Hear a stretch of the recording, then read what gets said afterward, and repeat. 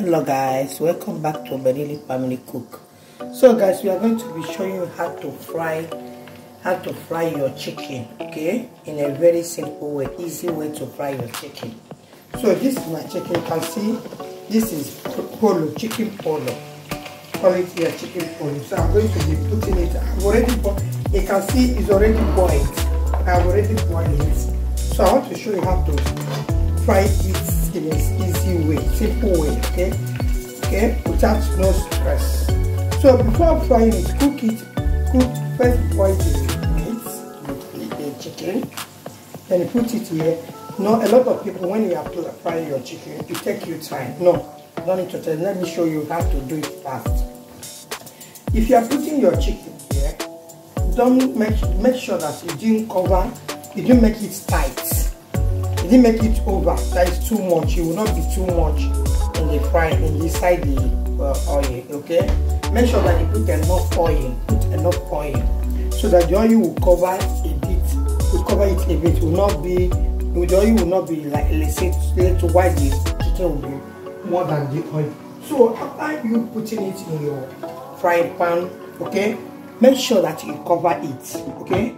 Cover it. Know why sometimes you are cooking, if you are frying or whatever, if you don't cook, cover it, it takes time to fry well. So when you cover it this way, it will fry well, it will gather. Do you understand me?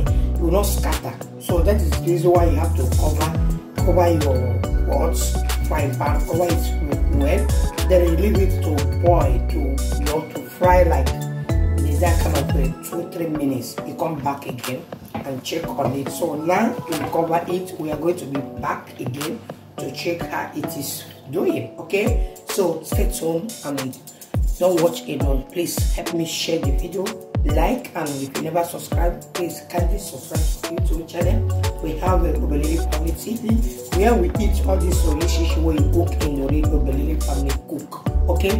You can also visit us in our facebook so stay tuned and see the outcome of this frying chicken today. Thank you. Let's check on our our chicken. Chicken. Then you open it again. So what you need to do is you have to turn it. Turn all of them, okay?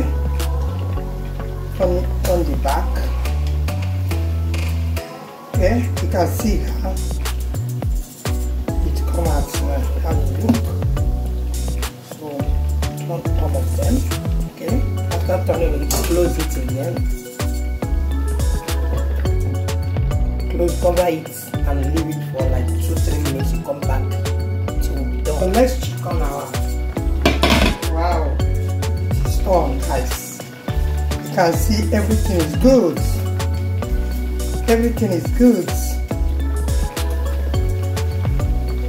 sure this is where I love it.